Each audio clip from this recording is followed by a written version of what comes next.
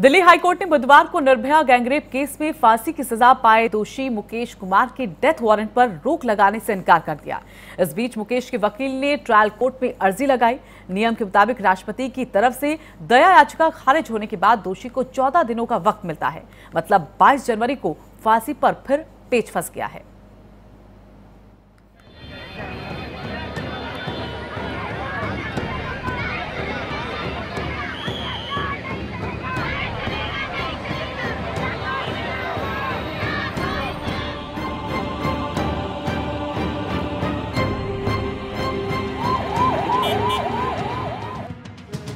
निर्भया मामले में 22 जनवरी को दोषियों को फांसी दिए जाने के मामले में पेंच फंसता हुआ दिख रहा है। हालाँकि दिल्ली हाईकोर्ट ने निर्भया केस में दोषियों के डेथ वारंट पर रोक वाली याचिका खारिज कर दी है। कोर्ट ने याचिका खारिज करते हुए ये भी कहा कि ये फांसी की सजा में देरी की रणनीति लग रही है।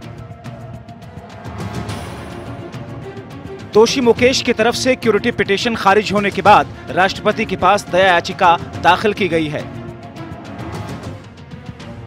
सात वर्षों से इंसाफ की आस लगाए निर्भया की माँ का दर्द और आक्रोश छलक पड़ा।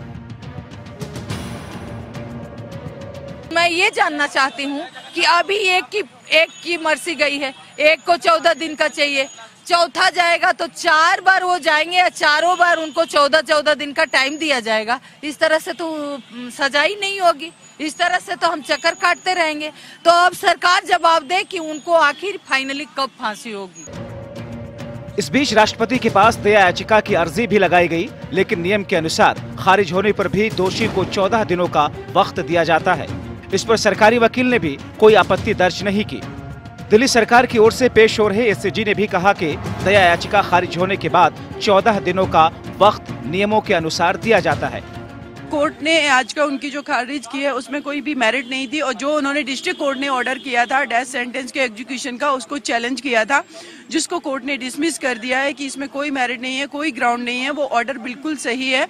अगर आपको लगता है ऑर्डर गलत है तो देन आप सुप्रीम कोर्ट जाइए या उसी डिस्ट्रिक्ट कोर्ट ने जिसने ऑर्डर किया है, उस कोर्ट आप जाइए और चैलेंज कीजिए इस ऑर्डर को और इस कोर्ट ने क्लियर ये मैसेज दे दिया है। अब दया याचिका पर फैसला कब होगा? इसका जवाब तो राष्ट्रपति के पास से ही मिल सकेगा। मगर इस बीच में सवाल यही कि निर्भया को इंसाफ मिलने के लिए अभी और कितना इंतज़ार करना होगा। अमित दुबे के साथ bureau report, R nine TV, Uttar Pradesh, Uttarakhand.